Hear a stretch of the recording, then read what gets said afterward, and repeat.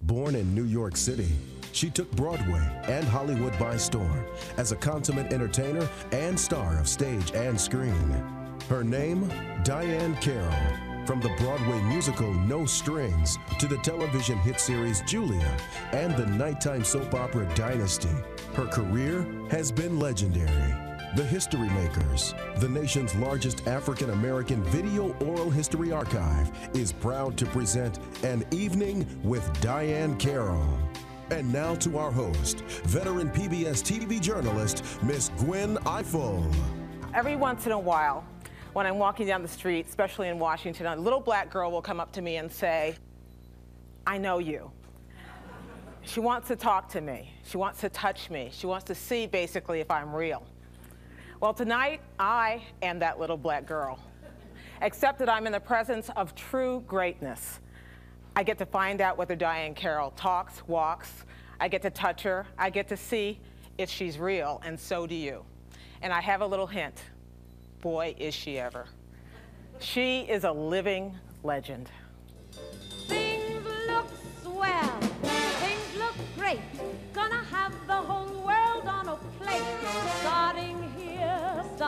Now. Honey, everything's coming up roses.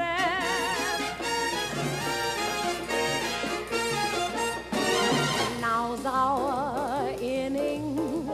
Stand the world on its ear. We'll start it spinning. That'll be just the beginning.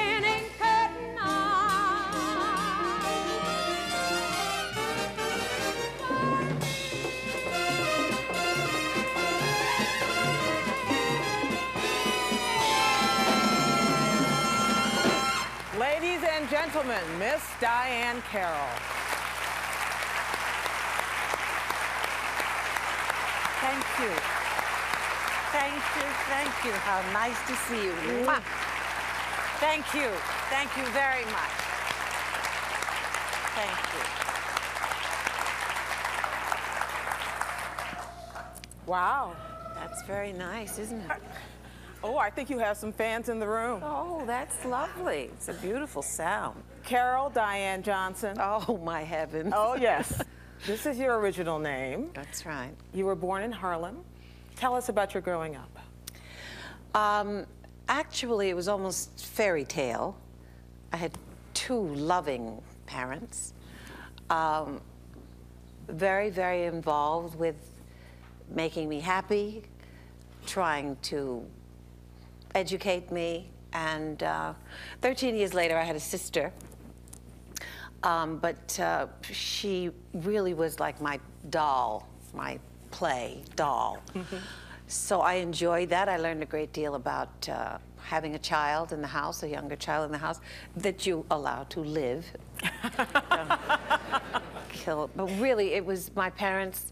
I will always be grateful for the support um, that they offered and and the love and the care. It was a very important time, of course, for all of us. It always is. But when you have parents who tell you that the world is yours, that's pretty special. Was that where you had your first exposure exposure to the arts, to music? Yes. Um, my mother felt that it was important for me to see what New York had to offer. My mother's from North Carolina, and she felt that New York was a special place that had all kinds of interesting levels of culture, and so she exposed me. She was always about what is there that will encourage her, that will expose her to whatever it is that she may may need. It was uh, it was wonderful. We had a ball. We actually were pals. You had other strong women in your growing up. Your grandmother, your aunt. Yes, my grandmother was five women in, in one. She lost my grandfather when my mother was nine. And she had several boys and uh, three girls. And she raised all of them alone. She had a cotton farm. She also had hogs. Were you involved in picking any of that cotton? I tried. I, I really tried. My grandmother didn't want me to try, but I tried, and I picked 13 cents worth of cotton. And she thought it was better not to ask you to do that Don't, again. don't. But the, the thing about it, they never tell you this, but you know, your hands bleed so easily Mm-hmm. when you're picking cotton that I thought my, my grandmother was right. I should stay on the porch and, and let it be done by. But that was a, it was a great experience. I've always felt separated in so many ways, for so many reasons.